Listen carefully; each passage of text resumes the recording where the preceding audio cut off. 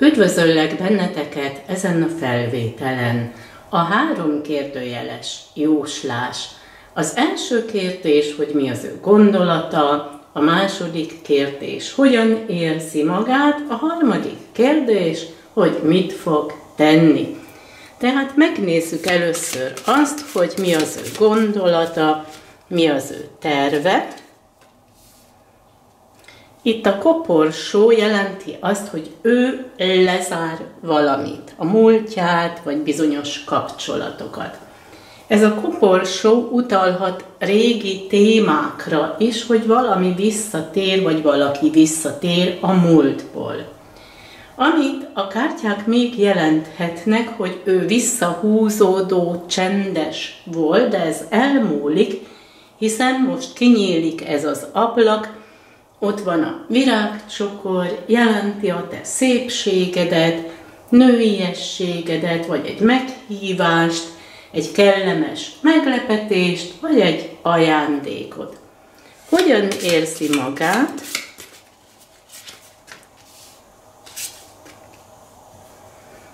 Itt ez a lelkész jelenti az ő hitét. Azt is jelentheti, hogy ő esküszik valamire, és megbízhatsz a szavaiban. Ha te egy hölgy vagy, akkor itt megjelensz az ő érzelmi világába. Itt tükröződik valami.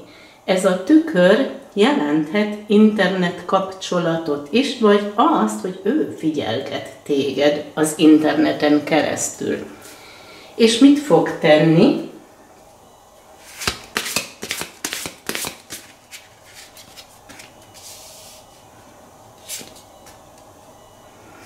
Itt a madarak jelentik a könnyűséget.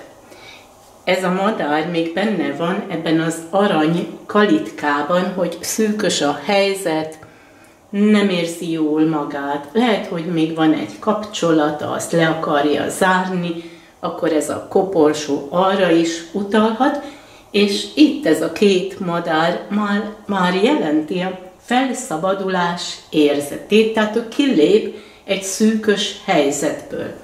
Amit a madarak itt még jelentenek, az a kommunikáció, mert ő beszélni akar veled.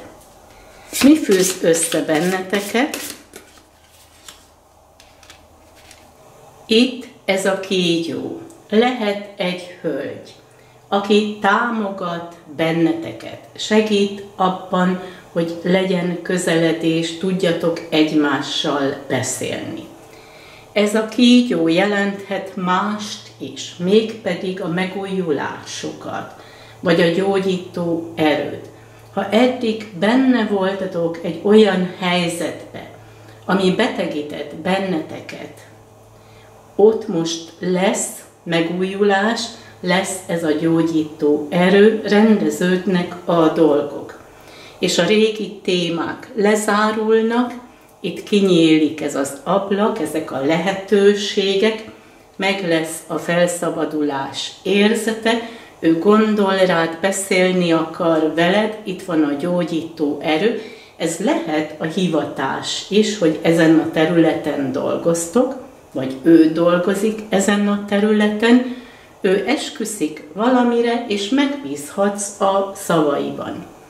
És ez volt a három kérdőjeles jóslás. Kívánok egy szép napot, nagyon sok szeretettel, Denderrá!